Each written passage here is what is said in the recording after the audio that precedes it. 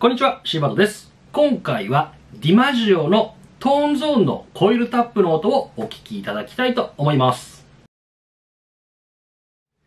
リクエストをですね、いただきまして、ディマジオの DP155 トーンゾーンですね。これを乗っけているギターがあるんですけれども、コイルタップにしておりまして、基本はハンバッカーなんですけれども、シングルコイルに切り替えることができるというスイッチですね。その音をぜひ聞きたいというところで今回の動画撮っております。90年代のね、VK ロックが好きな人には非常におすすめなピックアップです。ディマジオの中でもね、スーパーディストーションに次いでというか、まあ、同じぐらいね、認知度の高い定番のピックアップです。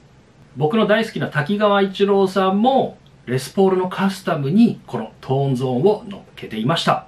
僕が使ってみたイメージとしてはですね、滝川一郎さんはまさにそんな感じで、一郎さんも基本的にはね、EMG がベースになってるんですけれども、トーンゾーンの音めちゃめちゃいいです。ドンシャリでね、ローがガツガツくるというか、低音のね、倍音が本当に素晴らしいんですよね。歪みのイメージがありますけれども、結構ね、クリーンもね、コンプ感があって非常に綺麗です。